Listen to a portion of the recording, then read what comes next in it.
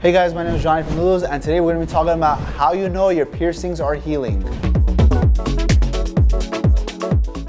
First thing you should know about how your piercings heal or when they heal is time. Time is the most important when it comes to piercings healing because every piercing takes a certain amount of time to heal. Because we're human, we don't heal like robots. For example, your earlobes typically take three to five months. Your earlobes are made of soft tissue, just like your eyebrow and your belly button. So you're looking at about three to five months for anything that's soft tissue. When it comes to cartilage, like your nose and anything on the upper part of the ear, you're typically gonna expect about six to nine months. And for extra sensitive piercings that take extra long time, like the nipple and the industrial bar, you're looking at about 12 plus months. So just remember, piercings take a long time to heal, so just be patient and they'll be okay. Second thing you should know about how your piercings are healing is the color of the area. Sometimes when you're looking at a piercing on the outside of it or really close to that jewelry, you can see like a dark pink or dark red. Every color obviously indicates where you're at with the healing process. If it's very dark red, it's probably very early on in your healing. If it's like a pinkish color, it's getting closer to the healing time. And then if it's just flesh color, it typically means that it's fully healed. The outside of the skin matters, but also the inside of the piercing matters too. So a lot of times when you go in for a checkup or when you're going for a downsize, your piercer is gonna actually remove your jewelry and actually look at the hole. And when you look at the hole, it's gonna tell you a lot of things just like it does on the outside. Redness, dark redness, like a raw meat color, means it's early on in the healing process. A pinkish color is gonna mean that it's getting closer to that healing point and then if it, the outside of the skin looks like the inside of the skin, your piercing is pretty much fully healed at that point. The next thing is sensation of the area. When your piercing is in the early stages, a slight touch, you can already feel how sensitive it is. But later on, as your piercing is healing more and more, if you accidentally bump it or accidentally move the jewelry, you're gonna feel less sensation there. So that's very important. The less you feel whenever it's moving or it's being bumped to, the better it is. There's people that out there that have piercings for many years. They can kind of move it around, mess with it, fold it here, sleep on it, nothing happens.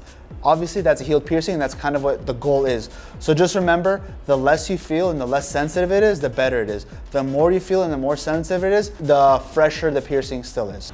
Number four is pretty much any kind of liquid, whether it's like pus, just clear liquid, blood is oozing out of the piercing, that definitely means the wound is still open and it's not fully healed yet. That's the early stages on. When you get to the point where you start noticing crusties or any kind of like stuff like that growing around it uh, in the area, you're definitely kind of in the middle section. When your ear is completely dry and there's no liquid coming out, no pus, no crusties, nothing whatsoever, then that pretty much indicates that the piercing is pretty much fully healed or almost healed at that point. So just keep in mind that anytime liquids are coming out or any crusties, you're still not fully there yet. Number five is always check in with your piercer to confirm that your piercing is fully healed. At the end of the day, they're the ones that are gonna tell you if it's fully healed.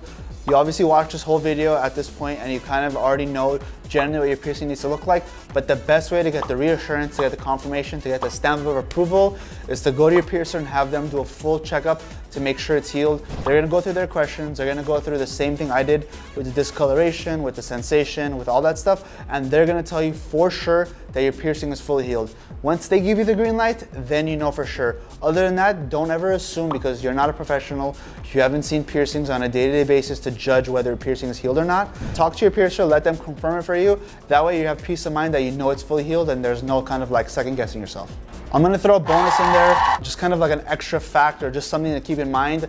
Just remember that everyone is different, everyone's body is different, everyone heals differently. So don't ever compare your piercing to another person's piercing, or don't compare a piercing that's up here to down here, or from here to here, because different parts of your body heal differently, different parts of your body are more sensitive. Uh, so just keep that in mind. Don't compare piercings. Don't compare your piercing to your friend's piercing or your mom's piercing or your sister's or whatever, because everyone's body heals differently. So there's no need to kind of compare and be like, how come they healed quickly or how come they took forever? Your body's gonna heal at the pace it's gonna heal. So just keep that in mind and don't compare and just trust the process. If you like this video, click the video right up here to continue watching.